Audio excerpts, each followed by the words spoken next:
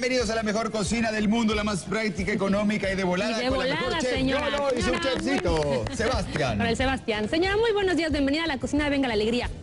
¿Se le antoja si preparamos un strudel? No es el strudel que usted conoce. El strudel, aquel panecito que lleva manzana por dentro, no. Este lo vamos a hacer salado y lo vamos a hacer un strudel de papa y le adelanto, lleva chorizo. Y ¿Te parece ques- bien? y queso vi por ahí, Y ¿eh? quesito y otros ingredientes más, Ay, qué pero no sabe qué bueno, ¿eh? ¿Estás listo para los ingredientes? ¿Listo? Perfecto. Que Vengan los ingredientes. Tome pluma y papel en casa Hay y poquitos, apunte, hay poquitos. apunte esta maravilla que se llama strudel de papa, que necesita dos piezas de chorizo, una cuarta cebolla picada o un cuarto de cebolla picada, dos chiles verdes en rodajas, medio kilo de papas cocidas en cubos, medio kilo de masa de hojaldre, dos tazas de queso chihuahua rallado, Se te está metiendo el humito. se le está metiendo el humo del chorizo, y por último una yema de huevo y tanta catán.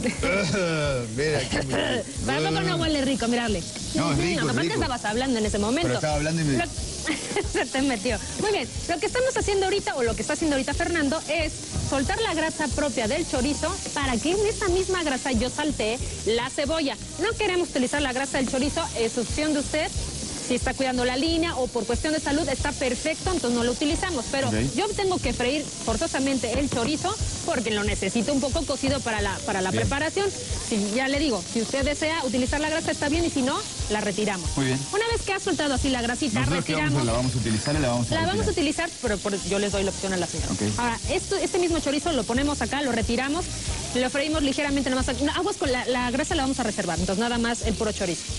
Ujú. Para que le dé saborcito Ok, y me ok, ok. sepa, ya sabes.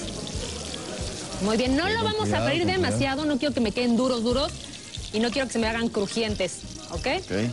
Perfecto. Listo, ya casi ¿No te ves la grasa? No te ves la grasa. Perfecto. Ahí está, soltó poquita. En esa misma grasa vamos a saltear. Ay, aquí se quedó un choricito. La cebolla. Y le vamos a dar un toquecito de picante. Le decía dos chiles verdes, puede ser uno grande o no necesariamente tiene que ser uno. Le pone usted poquito. Lo que pasa es que como yo lo tengo en rodajas, tiene las semillas, entonces va a eh, picar. tran- entonces tranquila, vámonos. tranquila con eso. Vámonos piano. leve, leve, Piano, leve. piano en italiano. Ahí está. Muy bien. Vamos a poner poquito para que no chilles. ¿Está bien? Gracias. Es chile verde, sino también podría ser un chile serrano. O el chile de su preferencia, no necesariamente. Le dejé semillita, le repito, para que me pique un poquito. Lo empezamos a saltear y ahora lo que vamos a hacer es saltear la papa que yo tengo previamente cocida y además, ya viste, la dejé con la Con la cáscara. cáscara. Entonces, ¿Tiene cáscara o piel? piel, cáscara es igual. ¿Igual? Sí, es igual. Despacio para que no se Despacito, no me la desbarate, la papa ya está cocida. no quieres que Esta te vez. ¿sabes cómo hice mis papás? No les puse, eh, no les di cocción en una cacerola. Esta vez le di la cocción en olla express. Ah, y más o menos para un kilo de papas me tomó ocho minutos en la olla express. Entonces hay que más o menos Rapidísimo. calcularlo. No le daría yo más tiempo porque entonces las desbarato, necesito que estén eh, enteras. Si hiciera usted un puré de papa, tal vez si le damos unos 12 minutos. Puede ser. Pero como estaban chiquitas, tomando en cuenta eso. Y además, que, que las necesito enteras, les doy 8 minutos en olla express. Las solteamos. Luego se nos desconchinfla, como me dices tú. o se desfirola. Se desfirola, no se desconchifla. Se desconchifla sería la, la express. Aquí mismo vamos a salar Ok. un poquito. Pimienta también. Se desfirola la papa. Y ahora sí, por favor, retíralo del fuego y vámonos a nuestra masa. Ok. En una, super, ay, en una superficie que esté plana, que es la mesa, vamos a enharinar suficiente, pero tampoco exagerando la harina. ¿Sabes por qué, Fernando? ¿Por qué no exageramos? Porque este tipo de masas, que son las masas de hojaldre, si les pongo demasiada harina, le empiezo a las empiezo a secar. Entonces nada más voy a poner lo suficiente como para que no se me pegue en la mesa, pero tampoco le voy a echar acá arriba muchísima. Es más, no se, se enharina el rodillo y con ese mismo sigo estirando. Del centro hacia abajo y del centro hacia arriba, porque las masas hay que dejar, hay que darles como la oportunidad de que se estiren, no están uno así. No, no, de ninguna manera, Yolo, por favor. ¿Estás de acuerdo? De acuerdo contigo. Perfecto.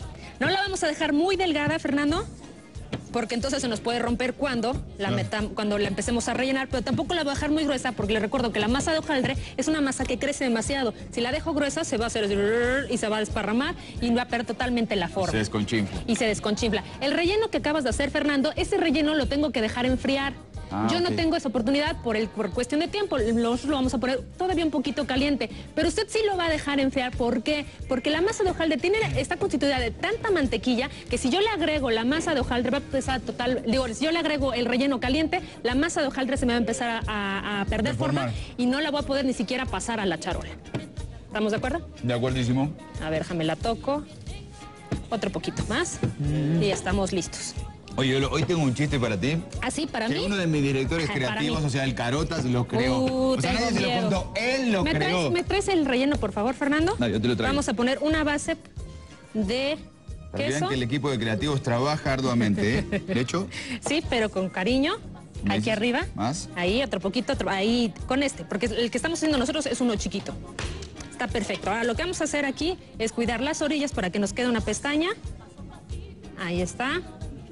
Ah, lo hacemos así. Y esto lo vamos a meter al horno a 180 grados y lo vamos a dejar unos 40 minutos. Si queremos que nos dore por arriba, ¿qué hacemos? Le ponemos un poquito de yemitas, lo barnizamos y listo. perfecto. Vamos a Perfecto. probarlo. Vamos a probarlo. Y entonces la pregunta es, ¿cuál es el trozo de carne más pequeñito del mundo? Yolo. Este, una salchichita. No, es la carne a la tan pequeña. Tan pequeñita que es muy chiquitita. Ay, ay, Gracias, Carotas, por tanta creatividad. Ay, ay, ay, no lo puedo Y la sección de la creer. señora Yolo no sería nada sin tu creatividad. Gracias. Mmm, estuvo buenísimo, ¿eh?